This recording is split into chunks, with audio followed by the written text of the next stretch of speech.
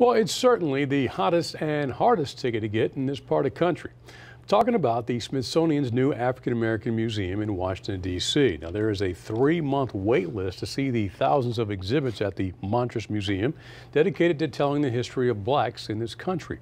However, right here in our own backyard on Delmarva are a number of African American museums with plenty of stories and rich history to tell a testimony in solidarity, a monument to courage. This hall is an act of collective will.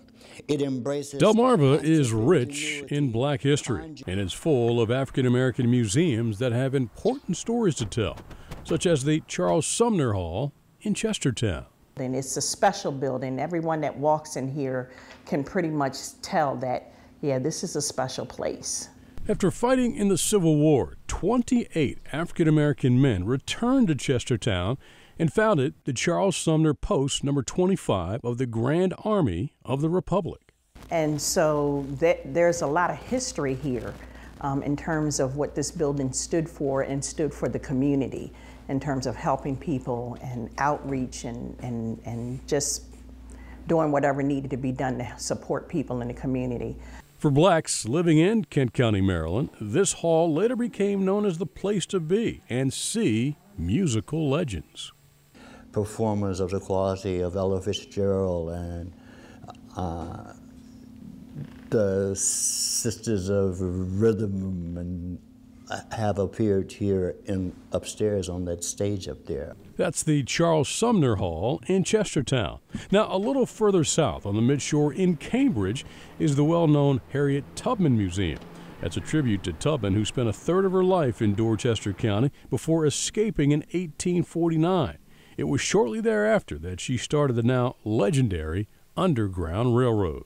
We know that during the 50s up until 1850 up until around 1857, she made at least 11 trips within the vicinity of Dorchester County to help members of the Ross family to escape uh, this area.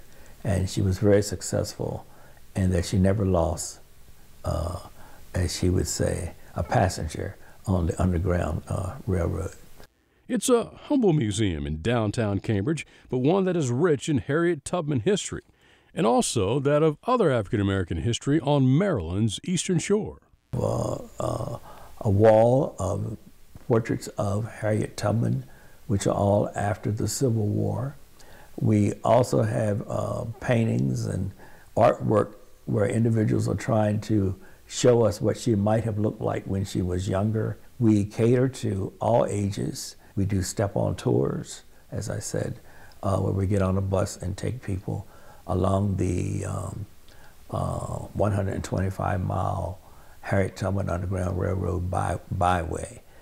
Also, a little further in Dorchester County and opening next month on March 12th in Church Creek, Maryland, is the brand new Harriet Tubman Underground Railroad Visitor Center. This hopes to tell Tubman's story like never before.